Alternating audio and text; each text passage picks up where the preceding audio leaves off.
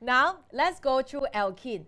But of course, remember, I mentioned to you that there are three things to take note when you're doing organics. What are the three main points? You must always remember when you study it, always look for formula and structure followed by their physical property and their chemical property. So same thing for alkene. Let's start with the formula and the structure.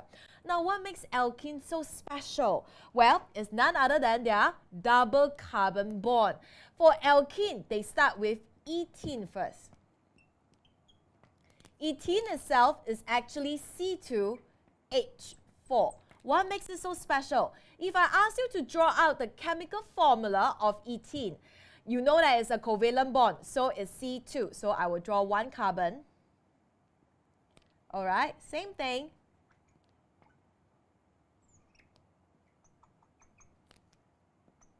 Share with another carbon. Oops, I draw a little bit bigger. Okay, uh, but never mind. All right. Now, and because it's C2H4, Carbon itself got four electrons at the outer shell. Here we have two. I have two more to go. So I put one here and one here. All right, and one here and one here. So you notice that this is your H. This is my H. And this is my H. And this is my H here. Okay, like I mentioned, many of the time, when we are drawing organic, they don't need you to draw all the yeah, shells out, right? So basically, you have to clean away the inner shell. So I'm going to clean away the inner shell, all right? Let me clean away the inner shell here.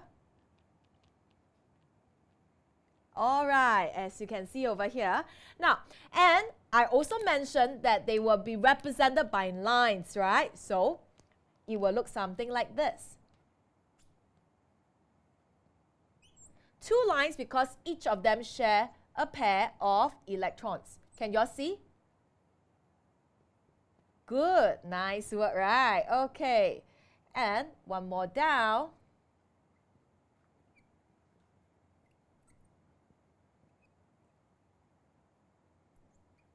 But of course, you don't show the electrons when you drew it, so it will look something like this.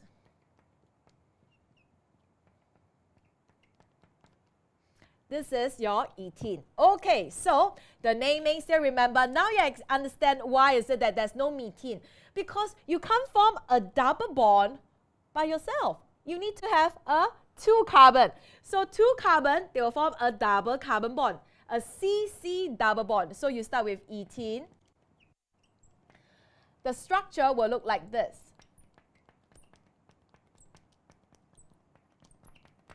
C2H 4. Monkey eat proper propene. P R O P E N E because E N E E N E E N E.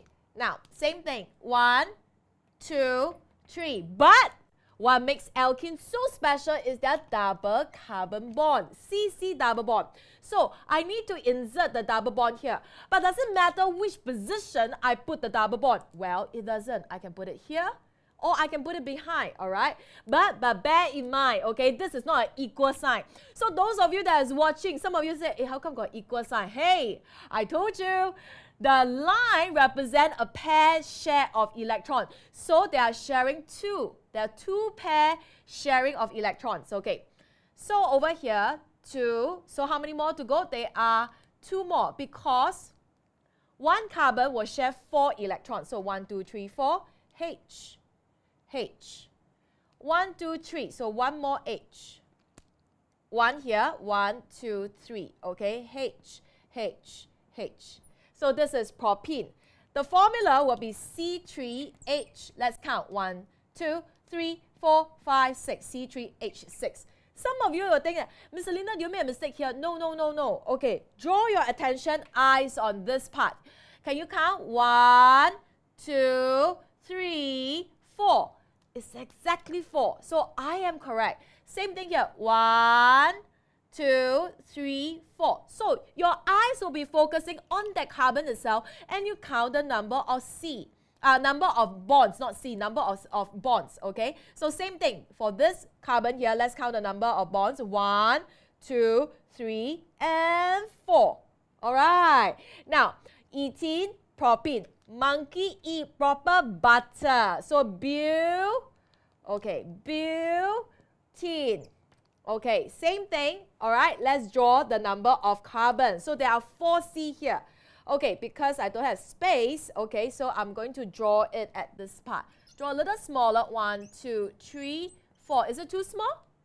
Okay, now doesn't matter where the double bond is. Like I say, it doesn't matter. So I'm going to draw it here. So same thing, I'm going to extend out the line, all right? One, two, H, H.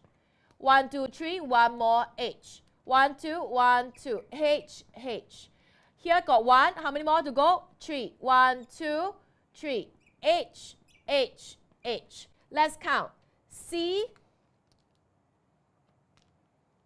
4, H. 1, 2, 3, 4, 5, 6, 7, 8. C4H8. And the general formula is none other than CnH2n. Does it look like a number pattern now? So did you get this part?